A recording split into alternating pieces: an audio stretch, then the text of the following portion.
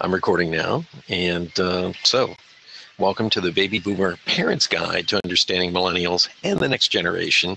I'm Brad Szollose, and we're just waiting on my co host, Susie Miller. Um, I'm at my local Starbucks because I want you to see you can do a show anywhere on Blab. I apologize. We had so many technical problems this morning.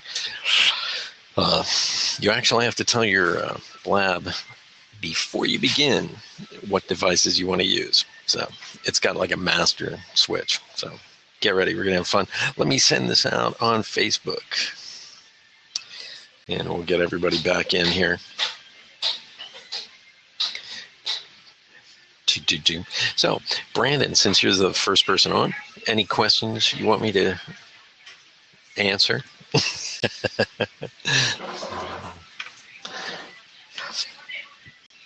do do. Anyways, uh, boom, boom, boom.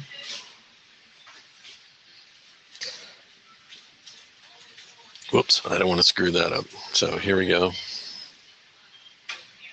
We're starting over again. Ah, there's Susie. Hi, Susie.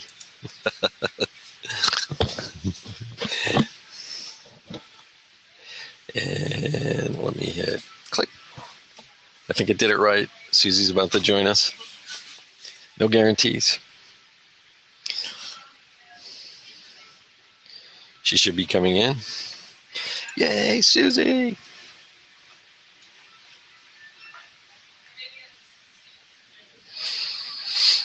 So the reason I uh, started working with Susie is because um, Susie is a uh, psychologist, and um, ah, here we go. It's asking me again. Susie should be coming on.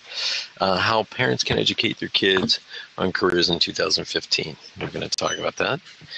Can is you hear Susie? me? Yes, I can. I can hear you and see you. Can you believe it? I apologize to our audience. We we tried to get this going. Now we're back on. So good. Holy snipes, Batman!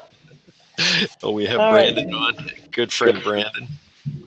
Hi, Brandon. Let me just grab my um, headset and make sure this one's working. Okay. This was bizarre. So was it like I couldn't I couldn't hear you?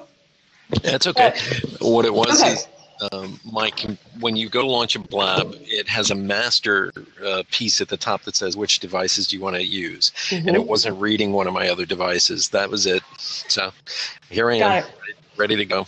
Okay. So. so we're ready. Let me. Hi, Brandon. Thanks for being patient. Welcome to the ba- the Baby Boomer Parents Guide to Understanding Millennials and the Next Generation. I'm Brad Szollose. I'm one of your co-hosts. I wrote the book Liquid Leadership, uh, which delves deeply into the Millennial and Generation X and all the the, the business side of the generational differences. and my co-host is Susie Miller. Susie, you want to introduce yourself? Yes, I'm Susie Miller, the Better Relationship Coach, and I help people create better relationships in 30 days or less. I'm a former marriage and family therapist. I have three, count them, three millennials 30, 28, and 25. He's kind of a cusper. And love helping people create better relationships, parents, marriages, and met Brad at a conference, and we just connected. Uh, probably because we were two of the coolest people in the room versus the oldest yeah. people in the room, right?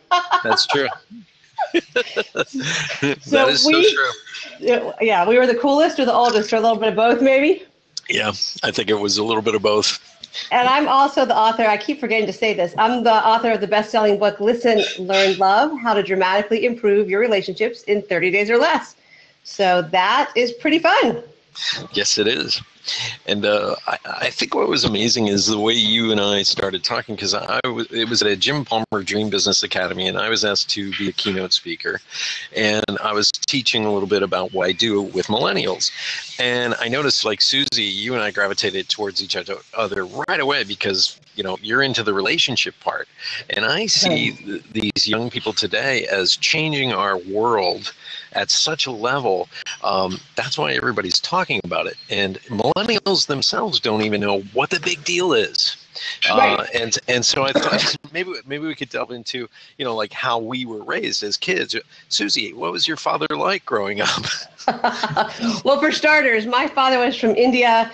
Uh, before partition, grew up um, through all of partition, ended up on the Pakistani side, but was in a Christian family. So that was kind of a wild thing for them. He came to the United States when he was 18 um, because education was what it was all about. You got an education, as many degrees as you could, and then you kind of made your way. Um, in India, he was very wealthy. He was from a very wealthy, high caste family, so very educated, um, very much in the realm of having, you know, servants and just the whole life was very different.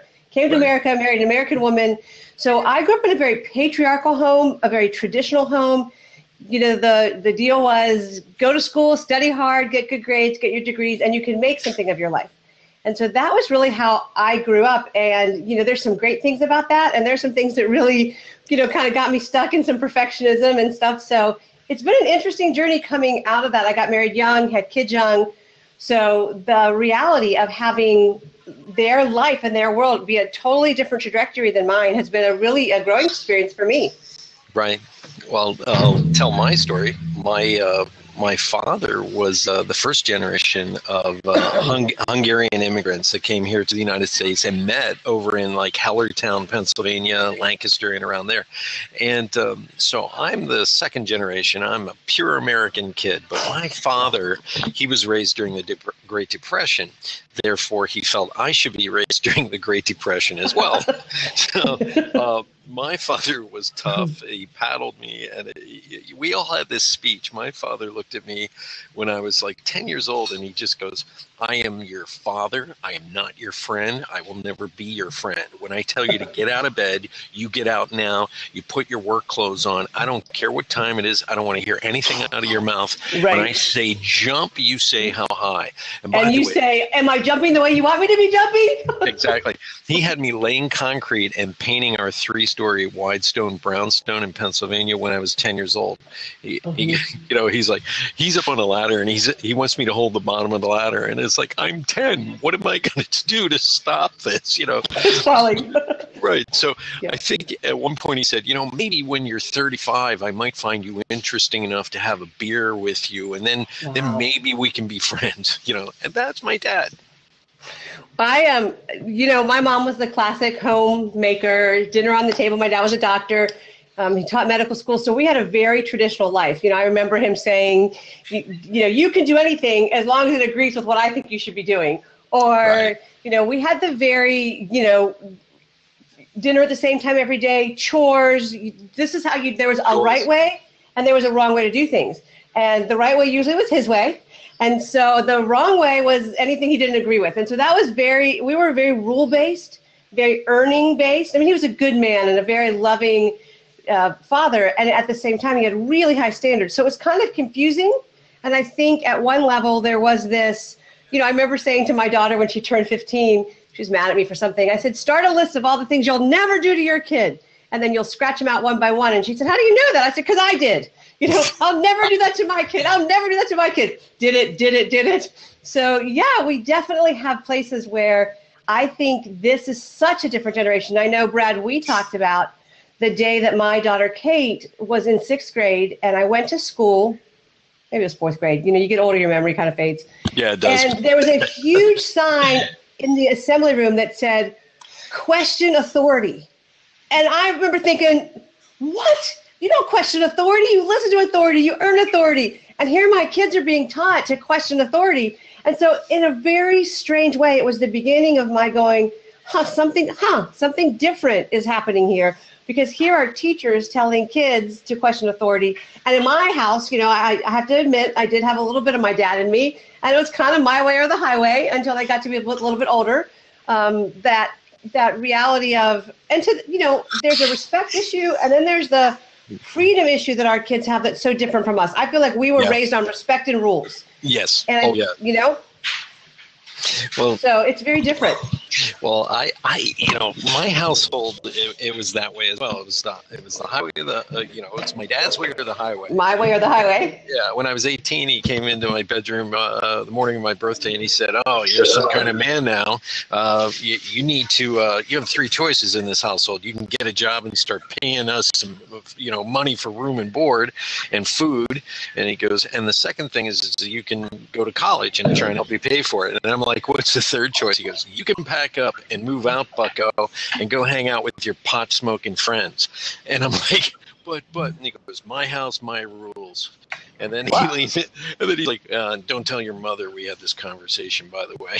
so this was like We you know, definitely grew up with my house, my rules. And if you are watching our blab, um, you know, Papa, uh, hands up if you were raised my house, my rules, uh, because that really is how we, there they come. We were raised that way, and yet we did not raise our kids that way.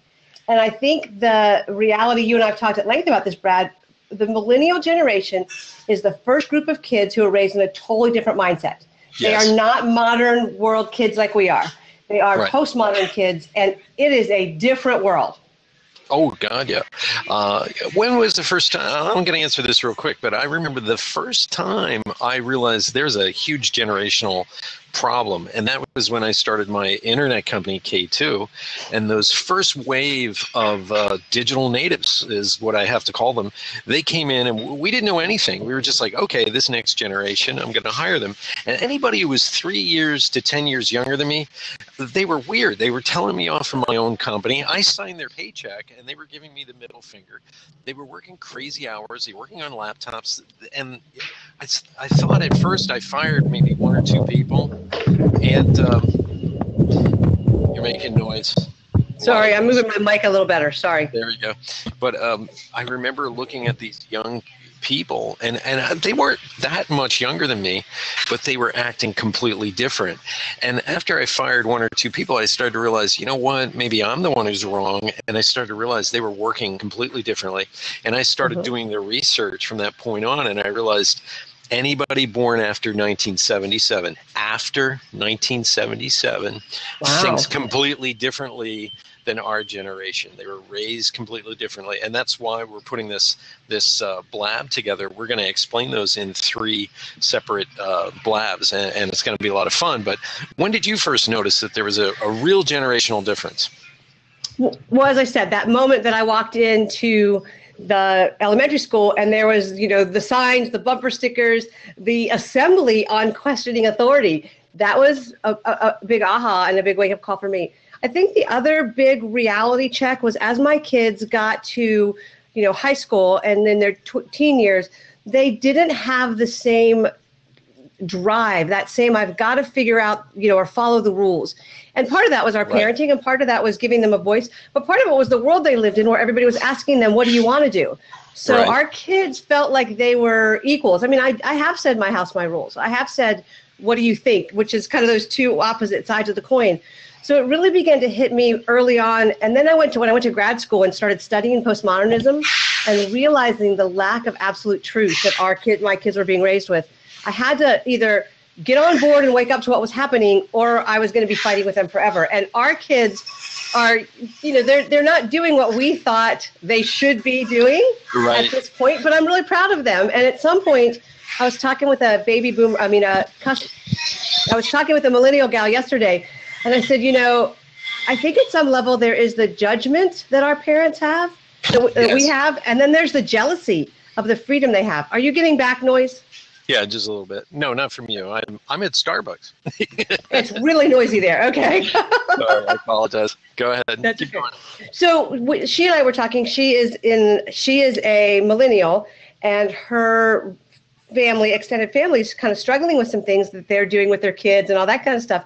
And my comment to her was, I think parents are both not. I mean, I hate to use the word judgmental, but they're criticizing what's happening. They're kind of critiquing what's happening with their millennial kids, and there is a level of, I think, jealousy because there's a freedom and a level of choice that our millennial kids have that I don't feel like we ever had. We did what we were supposed to do. We did what our parents did. Right, and and part of that is um, I see boomers all the time who look at millennials, go, "Why are these kids acting the way they are?"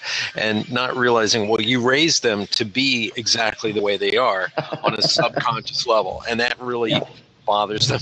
And and uh, we're we're going to answer a few questions soon, but I, I'm going to tell you how needed this is. What we're doing. I was sitting here at Barnes and Noble the other day in this cafe, and three older women came in who were obviously boomers, and they were complaining, not complaining, but they couldn't understand why their 31 year old son, uh, one of them, he was at UPS for almost two years and he quit. He said, uh, "These people are evil," and they're like, "What is going on?" I said, "Well, you raised them so that we have 30 year olds living at home because we changed the criteria for them. So if you want them out of the house." You should have started when they were two years old. It's over. They're, they're going Right. to stay there and do what they're going to do. Well, I would say yes and no. Um, we'll get into that when we talk about parenting. But did you see? Did you see the um, cover of Time? The Yes, I Octo- I did. should, the cover of Time. You know, is, this October issue is all about millennials, and I think wherever I go with the couples I work with, there is that level of I don't understand what they're doing. Why there was almost this? There should be a switch that turned. Well, they got to college and now they're supposed to be like us. Why aren't they like us? And it's been a real interesting, you know, journey. So I'm excited that we get to talk about it. Sure. And uh, I brought my props along, so we're going to start Okay. fielding questions. But I want everybody to realize we went from this. Right. This is how we we train kids, and we moved over to this this bad boy right here. I remember those. Die. So uh, our brains, our brains are actually different, ladies and gentlemen.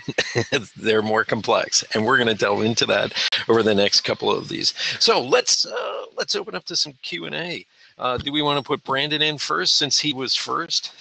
Let's see if I can add Brandon. You want to be added to the conversation, Brandon?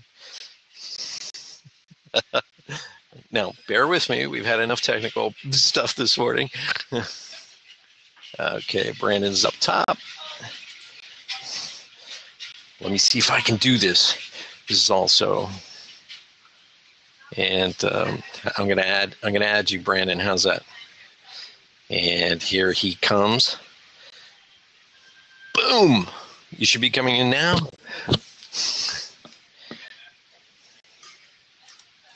Brandon is a coach and um, good friend. He's coached me on a couple of things on how to get this podcast together.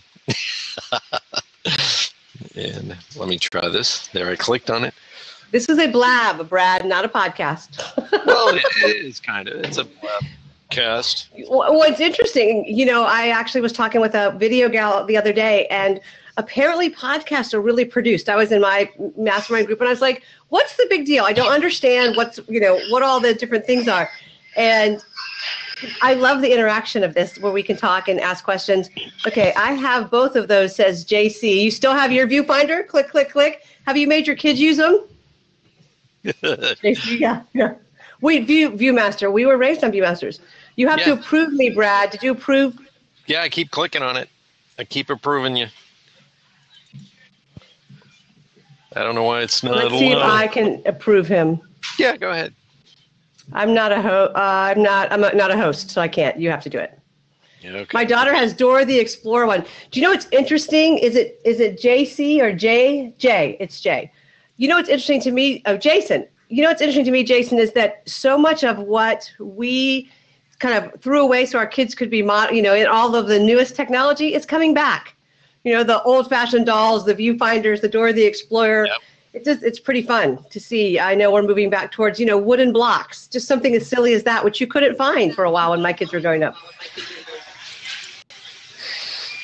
I've approved you as a host. Now let's see if I can get you in there. And Jay, thank you so much also for being on. We're going to get you in uh, the hot seat. It says, okay, um, he says that you have to unlock the seat. How do I do that? Oh, I Ah. see. Open seat. In, born in 20, I'm 27, born in 8. Would I be a millennial? Uh, yes, you would, Jason. Yes, you would. you know, I, oh, I have to show this. This is so funny. I got this hysterical, he would be, what's the year for millennials according to you, Brad? You're the expert. I have a fuzzy year definition.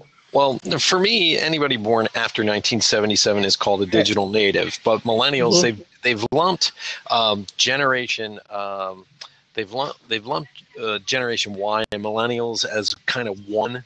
So uh, I really see it this way: anybody born after 1984 to like 1993 and around there is Right. a true millennial, and that's really from about 21 years of age on up to 35. Uh, anybody younger than that is really Generation Z. And by the way, I don't want you to think this is a box to put people into because I've met Uh-oh. millennials who act like boomers, I've met boomers who act like millennials, and I've met Generation X who, um, you know, they act like both sides. So it, it's Right. interesting. Okay. You know, me- see if you can, Brad. If you make me a host, I can fix this for you. I did. Jason I keep, says- I keep clicking No, on it. did you make Jason a host? If you make Jason a host, I can fix this for you. Jason, dude, I'm gonna, I'm gonna get so here's in. what's really funny. You know why Jason can fix it? Because he's a digital native. he was raised with this. You know, I was talking to a, a I just made other you a. Okay, ha ha ha, Jason says. So here's what's funny. There was this little kid and in the shopping cart at the store, and the mom was standing in the checkout line, thumbing through a magazine, and the little boy was on her phone, on her little iPhone, pushing buttons. I don't think he knows what a magazine is. No, I've had, um, I've done hundreds of keynote speeches, and I got to tell you, I've had so many parents who are older, C-level executives. They come up to me after my talk, and they look at me, and they they have tears in their eyes. And one woman said to me, she goes, "I now understand why my granddaughter wants an iPhone instead of a Barbie." and so Right. it's it's a whole new world. It really is. Okay, Brandon Krieger, did you want to call back in? Jason says. So if Jason's a host, I'm not a host. Um, is fabulous and it's awful. So thank you, everybody who's on, who's really It's- trying to be. It seems to be out of sync. That's what it seems to be. What do you mean? It seems to be a little bit out of sync. That's what it is. Because I click on everybody to come in as a as a host, and it's it doesn't seem to be doing it. Okay. So maybe I have to unlock. Uh, the seat is locked or it's unlocked. I don't know. You have to you have to unlock the seats. If you lock the seats, nobody can come in. So you have to unlock the seats. I'm trying. okay, calling back in now. Great. Thanks, Brandon. So hard hearing him because of the clutter. Yes. You got some real bad back noise. So Really? yeah, protect Sorry, your sorry. microphone. Yeah. Yes. Chef Carrick? Is that correct? So, chef, tell us your like aegis. We're trying to figure out where people are. Sorry. Sarix. Chef Sarix. Okay. That's fabulous. The Sarix, seats are yes. unlocked, Brad. Okay. Excellent. Thank you. So now we should be able to bring people in and out.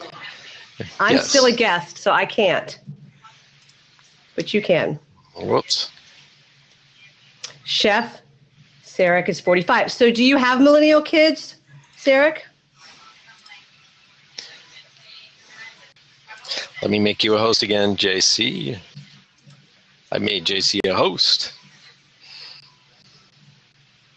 And then now we got to find Brandon.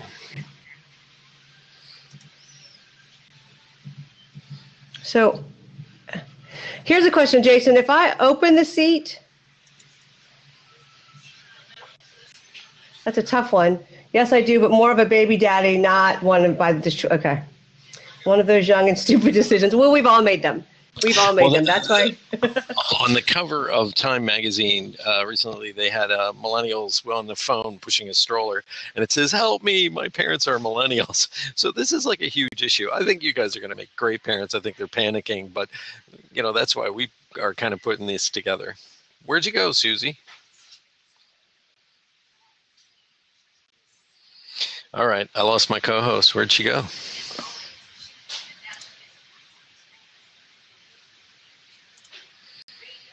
Anyways, so Susie's going to call back in or something. I don't know how she lost her seat. So, all right, Brandon, let's see if we can get you in. I apologize, ladies and gentlemen. This is our first blab, and I'm sure it shows. Should be an easier way to add uh, people to um, a seat.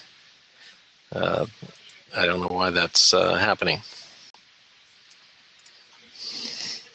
Susie dropped out. I don't know how nope, that happened. I'm back. I'm back. He got me in. There she is. She's back in. Okay, I think I think um You there? NH for real. I'm here. NH for real says, can you not hear me? Oh, they said it's not you. Blab is having issues. Okay, Thank you. I can hear you. I've, Thanks, I feel Jason. Complete, I do these all the time, and I'm sitting here going, "What is going on to this morning?" Yeah, Uh, I've been on a number of blabs and never had this kind of trouble. So hold on. Sarah, can- you can hear us, but you can't see me. Brandon, I could be. Oh, you're back on. You disappeared, Susie, for a little bit. I did. I did. I got. I got cut out. So here I am. So this could be a lesson in how boomers deal with technology, right? Yes, What would is. our dad say? Get it right. Practice. Do it better next time. No, no, no. My dad would have gone, What are you, a moron? You're an idiot. You don't know anything. Yeah, that's it. Um, so, anyways, uh, let's field a few questions that have already been here. Uh, some people have asked, like Brandon asked, how do you how do you teach uh, a young person today how to get a job in this day and age? What do you think, Susie?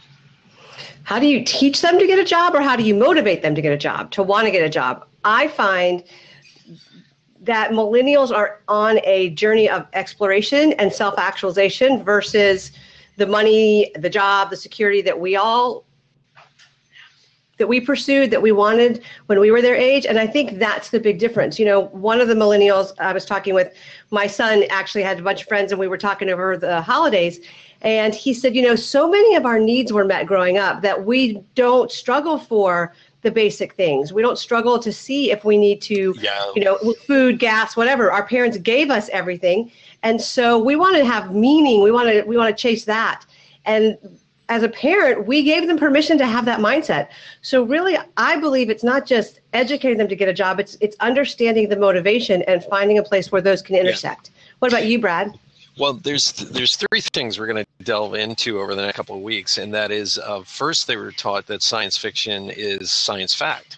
Uh, the second thing Wow. is Mhm. video video games came into the household, and um, that changed the brain and how they actually work. It's more iterative and jumping from one thing to the next and multitasking.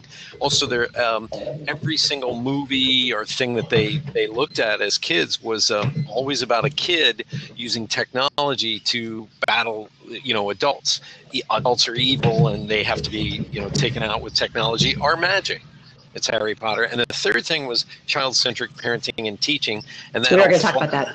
yeah that that flattened all the hierarchy not only in the household but it also flattened the hierarchy um, in the school system. And then in business they walked in and they told the ceo hey i can run this place better because they don't see authority figures as someone to fear. They see them as a peer.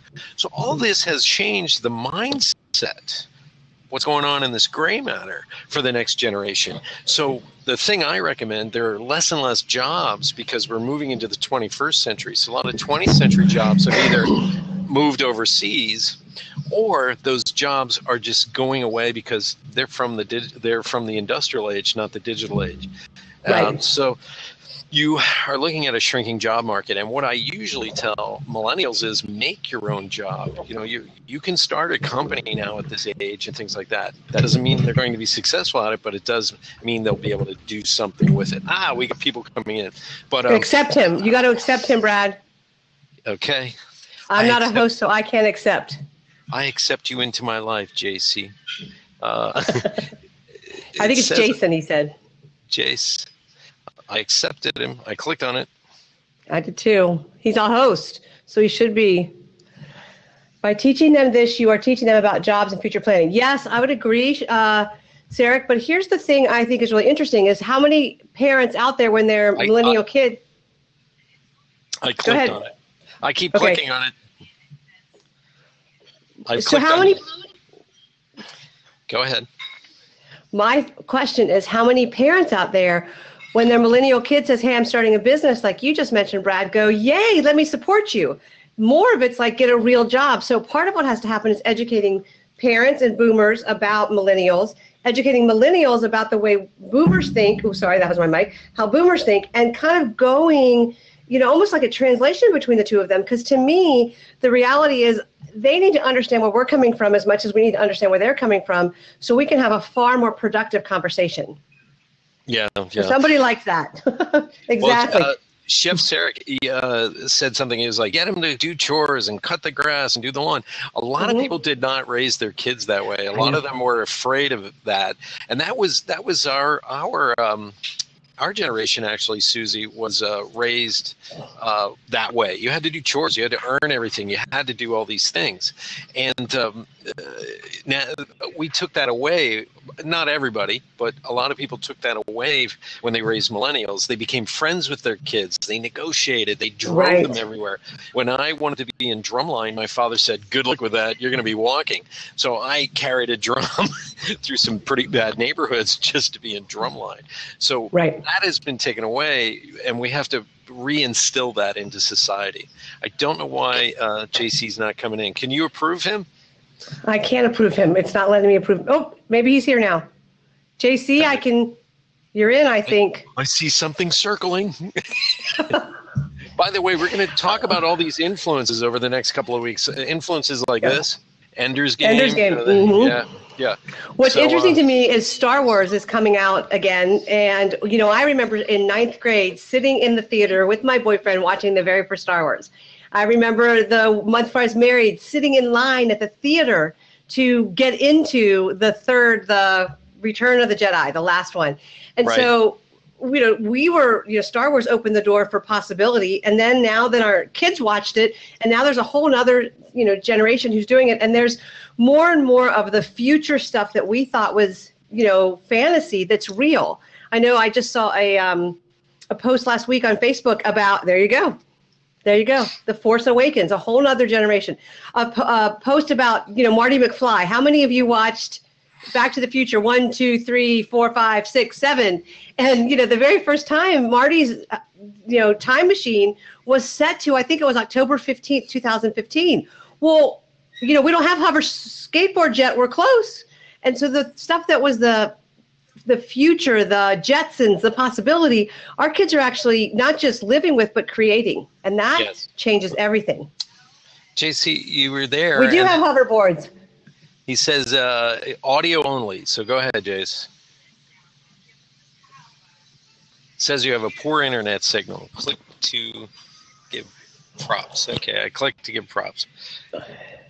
It's your connection. We can see Brad and Susie. So Jason, uh, NH for real is saying that it's your connection because Brad and I are visible to them. And Chef Sarek, I'd love to know hoverboards. They're already out there. Yes, they are. Uh, I, go. I, want, every, yep, I want everybody to know that 90% of the devices that you saw in Star Wars and even Star Trek um, are now happening. They actually have them. They actually beamed uh, two years ago. They actually did the Star Trek thing of beaming um, one molecule to the other side of the room. So, uh, to boomers, it was Star Trek and to uh, the traditionalists, it was Buck Rogers in the 23rd century. Uh, but to millennials, Star Wars came first. And Star Wars, according to Dr. Michio Kaku, the noted theoretical physicist, Star Wars initiated a paradigm shift. That's his quotes. And um, that changed everything. That changed how movies were made. That changed how we saw stories. That changed how we saw children. Uh, and it also changed how women were perceived in the media as well and on TV and right. things like that. So it's been it's been a, sh- a huge shift. So for this generation, Star Trek came later, and Star Trek to them is kind of a boomer kind of thing. It's not a uh, you know a um, it's not their brand, let's say. Uh, Transformers is a pure uh, millennial brand.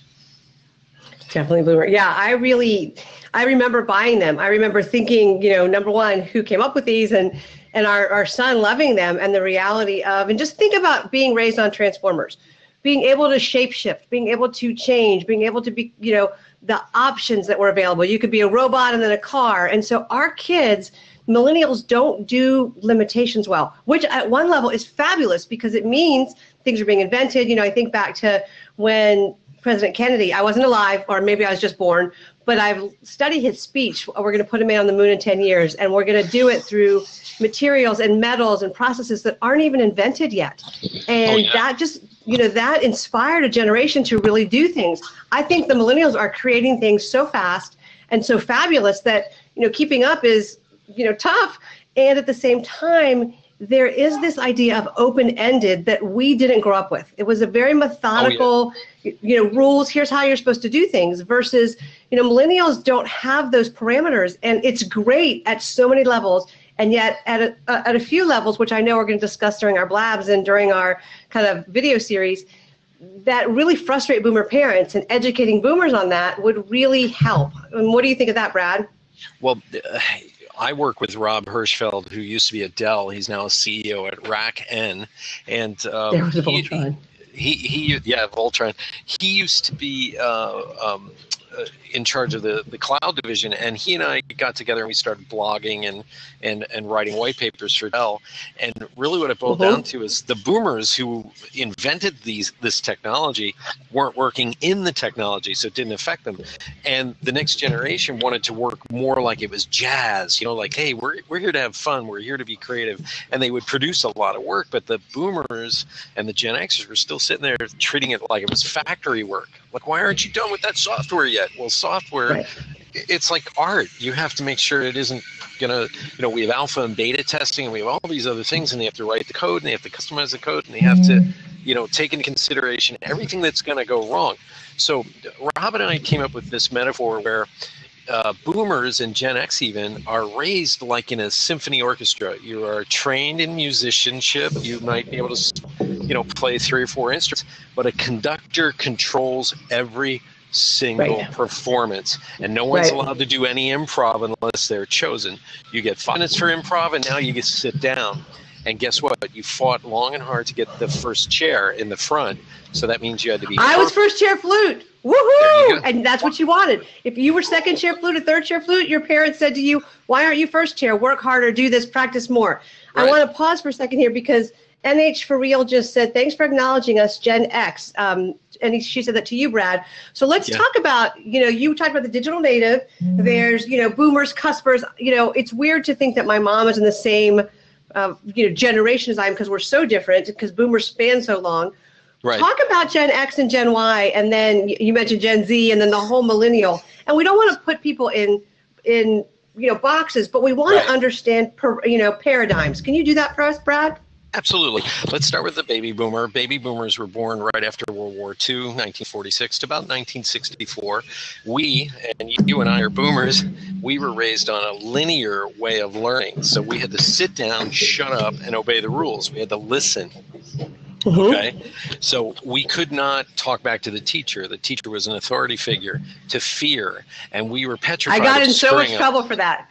Right if you screwed up, your career was over. And we took that paradigm in our brains and we moved out into the world and we went to college and we obeyed the rules and hierarchy, a lot of hierarchy. If you're 20, you know nothing. If you're 30, well, maybe you know a little bit. 40, you should be managing. 50 and 60, you should have the corner office and life is going to be good and young people are going to look up to you and admire you because that's the way it was for right. generations. You before. really, you earn, you earn your respect based right. on your experience and your age. Exactly. And boomers were taught um, that age plus experience plus learning and skill set will get you uh, the corner office. Okay, and that took okay. a lot of time. Now Gen X came along right at, right around 1965 into 77, and what happened with them is they were the first latchkey kids. You see, boomers were the first. The boomers were the first to be indoctrinated into the public school system. We've been called the radical generation, but that's not true. We're the generation that conformed the most to the, to the world because of that. Now, Gen X came along, and divorce was happening.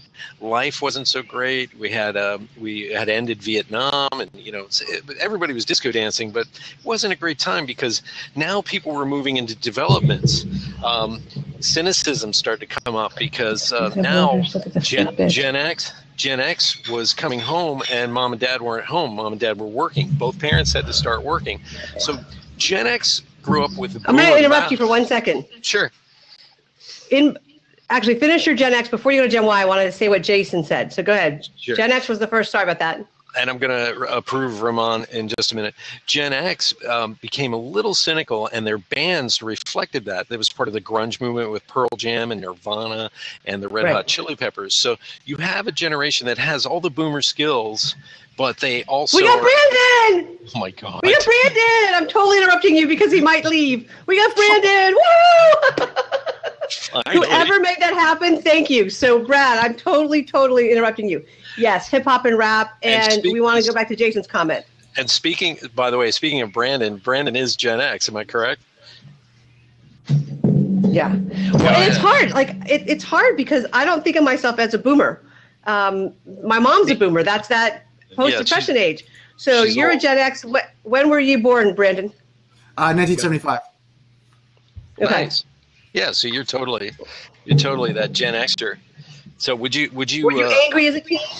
Yeah, oh for sure. I mean, as as you know, like you're hearing, you're kind of fighting against the system, right? You don't know where to go, what to do. The direction is, you know, like Brad was saying, is you get a job, you get education, you get a job. We are feeling that, mm-hmm. that mindset is no, I don't want to get a job. I, I don't think it doesn't feel right. This education right. model, this you know repetitive learning. You know, say cat, yep. say cat, say cat, yeah. spell C A T, yeah. like that. At, at, yeah. well, and then other- I think your generation was when parents began to listen a little right. bit more because we didn't we didn't want to do the same things. You know, you know, I, I would say this: our generation, Brad, started the list of "I don't want to be like my parents." I don't think our parents did that. Yeah, and so you know.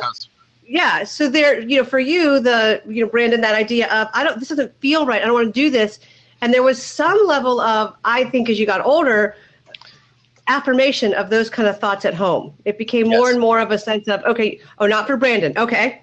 So oh, no, talk about that. I got, I got like reamed into, like I did all the wrong things. Right? I had the entrepreneur mm-hmm. mindset, right? That yeah. no, I was a C type student, right? I didn't fall into the high school model and the education, and and I was I was ridiculed for it from the education system as well as for my my parents because like you're doing you're failing. You're failing in life. Right you're a rebel you're a rebel brandon. I am. You know Susie, i remember being in trouble because i would talk i didn't fit the mold. I asked questions i didn't fit the mold. And right. here oh. chef oh. sarek says i don't think you should base it off of the time but rather the presidential monarchy era because the mindset's changed from nixon ford kennedy carter reagan. Absolutely. Society made huge strides yeah. and technology leaped based on our need for it. Right I would agree with the, that, and, and Brad weigh on this with with boomers sure. up until the millennials. I think the postmodern era changed our kids, and it's a really yeah. different generation than X and Y. Yeah. See, what I was saying, gonna... my, my, my experience was that when I was doing, when I was going through, like, I tried to follow that system of getting an education, you know, struggling through that process, getting a job, and I worked for the Ontario government. So I worked for, you know, career, right? and eventually, I, I like after a couple years, I, I quit because I just couldn't sit into that mold. Right. And I mean, now I'm an entrepreneur. I own my own business. I own my own marketing company. I get to be creative and, and be, you know, the way my, my mind works. I work with technology. I'm constantly innovative. But that's right. understanding kind of where I'm going. And now going back to talk to my parents, talk to my grandparents about what happened – well, you know, we really don't feel comfortable you be doing, but you know, if it's working for you, keep doing it. Right. Well, let, let me let me uh, jump in here and I'll, I'll, I'll continue. I agree with the geopolitical influences because yeah, that is true. But I also look at technology and parenting, and uh, a right. lot of our movies and and um, media were huge influences on the psyche. And I want you to look back at 1977. What started to happen? We before 1977, movies were about heroes okay? It was john wayne and things like that. But after 1977 with with films uh, by john hughes uh, and don't take this the wrong way it's not a judgment call but the loser the outcast the outlier was now the hero in these movies. And so uh, everything from 16 candles to the, the breakfast club and things like this showed the person who maybe wasn't mainstream becoming the hero. And I think that that formed something in the minds of Gen X and millennials. I hear a lot of noise. I think the really idea, I, I, think we've got a couple really big things going on. You're right, I was typing. I should have just actually uh, taught that. Um, sorry, I should have muted, dumb boomer that I am, or cusper, or whatever the heck it is. Um, Steve, service address. If you want to join, or Steve up here, Yeti, Steve the Yeti, just click on to join. We'd love to chat with you. Here's yes. the thing we ended then with an angry pushback generation. I think you know, and Gen X got caught in that because they had parents like yes. us still saying, "Here's what yes. you do. Here's what you shouldn't do." So there is that angry grunge, that kind of thing. I think what you're trying to say is changing the mindset of people into socialism. What? so I think the reality is millennials, in my mind, and I Brad can disagree with this. For me, the term millennial really encompasses the first generation of kids who are now adults who were raised with a postmodern mindset. And we're going to dive into that in another blab a little bit more. But that whole idea of nothing, it, there's no absolute truth. You kind of bend systems and um, society to your will.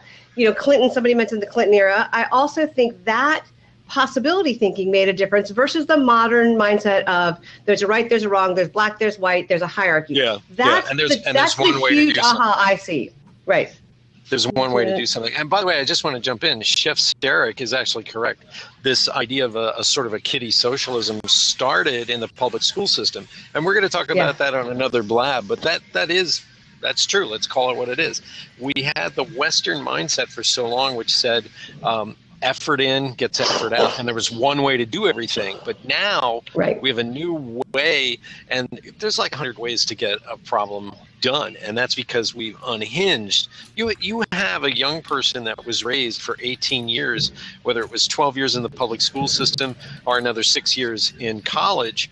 Um, to just be collaborative and there's no right or wrong and we're all in this together you and i are Right. all equals sound familiar okay so yeah he's Yeah. kind of right Trophy for showing up. you know that whole he is right, and and and I'm a parent who helped that. I remember, you know, a trophy for showing up. Our kids, you know.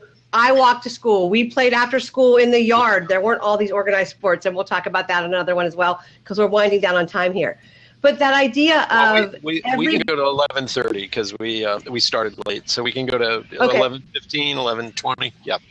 Okay. Okay, that's great. I think. Oh, we got Charlie joining us. Charlie Yay. does the Boomer, a great podcast. I love his podcast. Charlie. But I really believe that that some of the confusion that is happening with millennials now is the fact that boomer parents raise them to be independent, have a thought. What does Johnny think kind of ran the house? And I know we're going to talk about child centric parenting, but now we're saying, wait, shift and do it our way. And that's a huge contradiction and a real sense of conflict for millennials. And I think the Time Magazine article is a huge representation of that. Millennials are like, well, I don't want to be like them, but I'm not sure what my role models are. And I know for me, as, with clients, I see a lot of younger people now who are like, I want a parent, but not like my parents. exactly. That's what it is. They were brainwashed. Well, I, th- I think we we wanted to be friends with our parents secretly, the cuss boomer, and uh, we watched our parents die, and we didn't become friends till later in age. And I think um, we lost our minds because we were all working. And I think women felt guilty, and men wanted to spend more time with their kids, so they kind of compensated. And they compensated by uh, saying yes to everything and driving them everywhere and giving them karate lessons and dance lessons and all this other stuff. So, uh, And I know we're also going to unpack. It did. And I know we're also going to unpack the reality that Freud didn't come until the 50s. And so by the 70s and 80s, the whole underscore of psychology, talking about our feelings, came up. And so, you know, Brad, you and I were raised in the, well, how do you, you know, we went to therapy and found out that we were shamed growing up or that we were Yes. thwarted or that we were told we were stupid. And that was not even a concept with our parents because there was no real awareness of the subconscious. So then we went into parenting and thought, hey, I don't want Johnny or Sally to feel less or feel bad about themselves. So let's make them feel, you know, positive. and we kind of created our own monsters. Well, th- this started with Carl Rogers in the in the '60s. He was a PhD, wrote a, a, a series of Oh, yeah. papers, works, and he talked. He basically said that the reason society's all screwed up is nobody has self-esteem, and he says, you know, um, this is why people don't choose the right jobs. This is why they become poor. This is why they choose crime. This is all these things. So this huge movement started on the West Coast to basically give kids self-esteem. That's all we're going to do. Right. Everybody's got to. So the school system changed and parenting changed. And my father was a chiropractor. He had a PhD in chiropractic medicine. And when he heard about this stuff, he gave it his stamp of approval, Susie. He said, This is a load of crap. so, so, I remember um, my dad saying something too. so Why are you getting counseling? Just suck it up. It's true. That's something Jim Palmer would say. Suck it up. yeah, but it's um, we now have entered a complex world where, where criminals now have high self-esteem, um, and and yes, we, it is hard to teach your kids how to make better choices. You know whether you know. Uh, uh, Who's who's a, who's a safe adult? And I, I look at it this way: you really can't let your kids uh, alone anymore. You just can't. uh, so I have a question for Brandon. Mm-hmm. Yeah, Brandon. I know while you try to let him in, uh, Brad, you're cutting it out, Brad. I'm going to ask Brandon. Tell us a little bit about like your growing up, or are you? Do you have kids now? Are you in that phase of trying to figure out what to do? Tell us a little bit more about that. Uh, no, I have a son. He's in the States. He lives with his mom. Uh, what I find is because I have, like Brad knows, I, I work with clients that have all different uh, mindsets when it comes to education and knowledge and their kids and social media. Because I run a marketing company. So when they, even yesterday, I met with a, a parent and they're asking about social media marketing. Like, what do they do? And the value they, that they get from social media and their self esteem in the sense of, looking at likes, comments, and shares if they post something and taking selfies and doing all that gives them their value of who they are as a person, as an individual. And then them trying to think of career. Like, what do they do for a career now? They're so inundated with the options now. It's not clear cut what they do. So they get kind of lost of, hey, you know, I want to do this education, this career. I want to go this career path.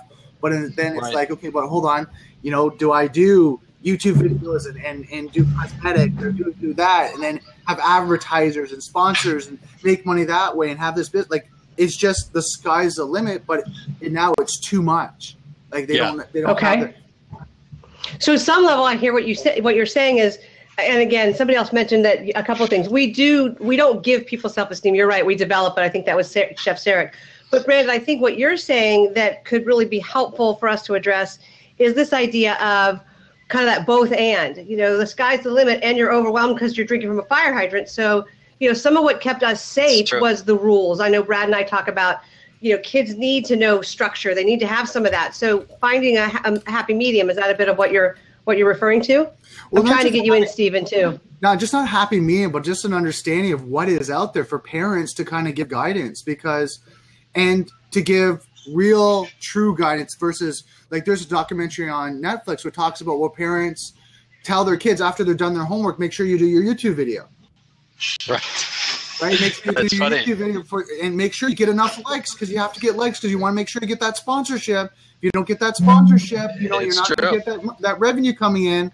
So that is so scary for me to hear as a psychologist. It's so scary. That is such a slippery slope. This is my opinion. Feel free to disagree of where people find their value because then it's all about you know if i'm not liked by the world do I, you know then you either become a sensationalist. Right. It's terrible. I feel that it scares me. And that's what Someone they're showing in the video. That's what they're showing in the video is that the problem was is that these kids were going in and they weren't getting enough likes. So now they felt depressed right? right. Oh my God, I'm not good enough. I'm, I do not feel the self esteem. Oh, you know what? You know, let's buy him a trophy. Right? What, do, what, what, do I do now, Mom? I'm not getting more likes. We'll get out and do more right. videos. Let's take them out for yeah. fourth meal at Taco Bell. Um, someone just asked if it's the same in Canada, and yes, pretty much the influences all over the world are a little bit different, and, and we'll talk about that later uh, in our next uh, blab. But um, yeah, it, I'm looking down here. The millennial issue is is pretty much the same all over the world. And it's not an issue, you know. It's just a whole different way of thinking. I don't want anybody to judge this. I just want you to observe and learn, and you'll never see the world the same after uh, these these series of blabs that we do. I'm well, trying to get everybody really, in. By the way, the great thing about you guys doing this is you're bringing attention and, and the understanding that hey, there's so much going on right now that parents need help with and that's what they right. talk about. It takes a try to, to, to raise a child, right? We're losing yeah. that because what happens is we used to have the communal, especially when I'm like talking about in Toronto. Right. Neighbors are so divided, right? Talking yeah. to them, it's kind of like, hey, John, it's like, hey, I got to go, you know, I got to go to work, drop the kids off, do all that. But you don't have that communal experience. So they're getting all that. And communities coming online, right? That's what I was just going to say. The community now is yeah, sorry. online, and the the if you're not there now, they feel that loss. That oh my god, you know what? I can't connect with my friend. I connect with my family because they're online, but they're really not your true family or friends, and they don't have that value in you. So they're they come and go. And our young generation, which you guys are talking about, they're losing their value because their value right. is online. Well, if I don't get that recognition because yes. I post an image and I don't get enough likes or comments, well, no one likes me. I'm not loved. Right. Right. And that to me is very unsettling. And it's why people are chasing sensationalism. Um, mm-hmm. Chuck Bartok said, I don't have a generation. I feel so depressed. So I'm saying we can, Brad can find you one. So uh, Chuck, put your, um, Chuck, put your year of birth in here. I'm sure Brad can find you one. Currently waiting for a your callback radio station passion. If you if you uh, put your date of birth in, also tell me what what you enjoy. Do you like rules or do you like results? Are you passionate or are you just somebody who's like you know obey the rules? That'll help. So, uh, I swear, I swear We're to God, certainly I'm gonna keep on these- people. I know. We're going to keep all these questions because I think we can, because we can, you know, um, we can certainly address them. There's, I mean, this was kind of our intro. Let's see what people want to talk about. What I hope people walk away with is that a conversation needs to happen. That the boomers aren't right, the Gen X don't have a handle on it, the millennials don't have a handle on it.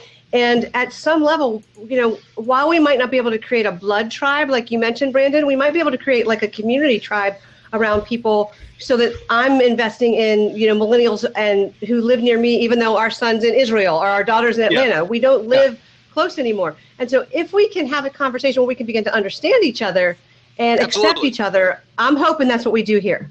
Well, you know, look at me. My my wife is black and from Haiti. She speaks four languages. She makes me feel like an idiot, and I help raise her nephew. And uh, he's he's mixed as well, and he is the quintessential millennial. He plays on video games, but he is so smart. It's mind blowing. So, it, we're going to cover a lot of bases in the next couple of weeks. I hope everybody's excited and you tune in again and watch because we're going to be reposting. I think we're doing two shows on Friday. Am I right, Susie? Yeah. On Friday, we're doing two shows. Mm-hmm. Nice, good. I good. think two and two and three o'clock, so we can really cover a lot.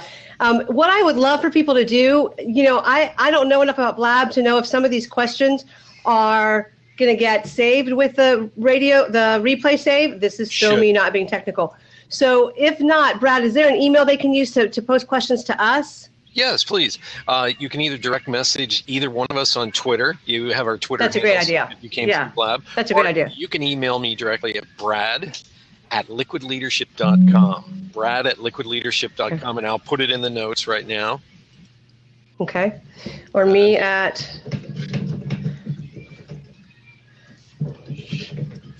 So they're saying, yeah, you can follow the chat stream on, on the replay. Yes, okay, good. Because I want to address some of these questions when we get back on. Well, I think the best thing too. I mean, these questions, some of them are topics in their own. Oh God, yeah. yes. We're gonna we're gonna Yeah. do a deep dive, and it's all based on my business book, Liquid Leadership.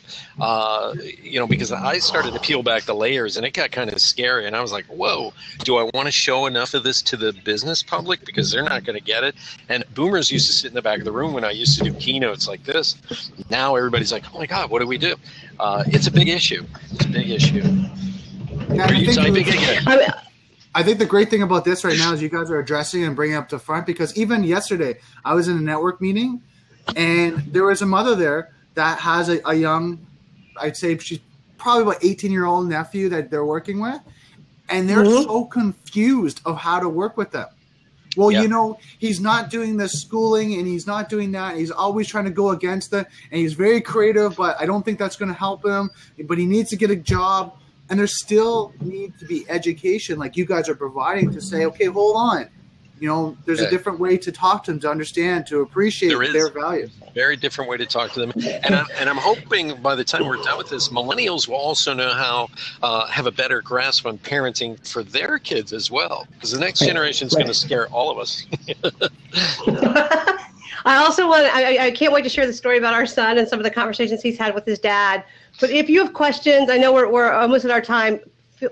Battle is the kids getting interested.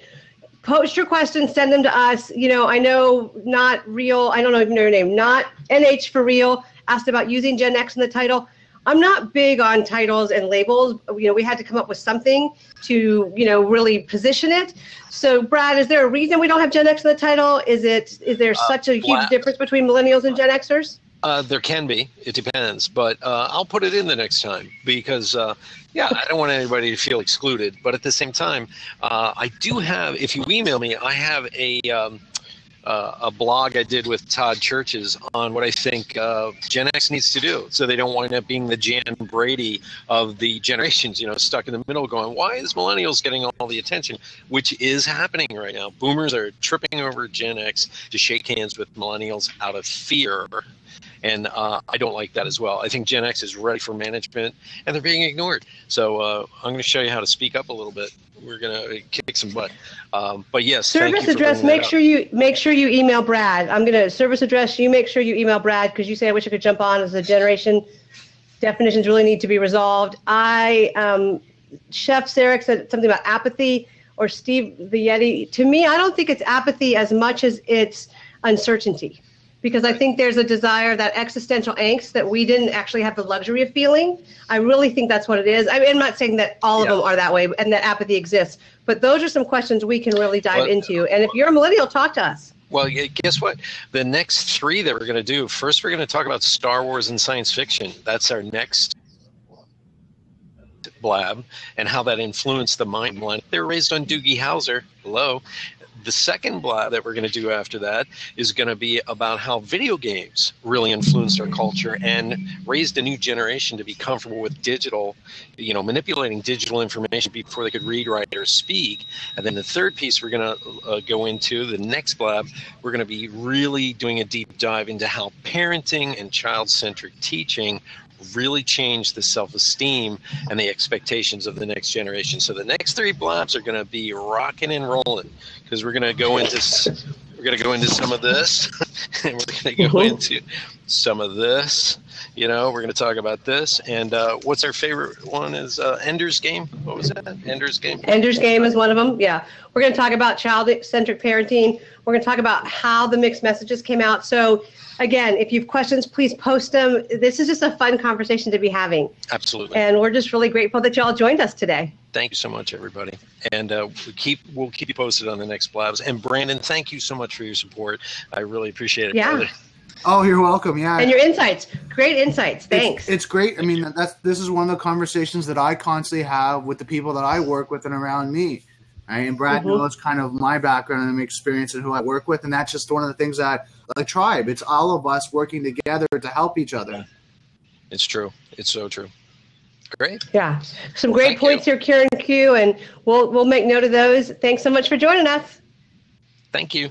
Bye bye, I everybody. don't know how Thank to, you. I don't know how to end this, Brad. I'm going to stop the recording.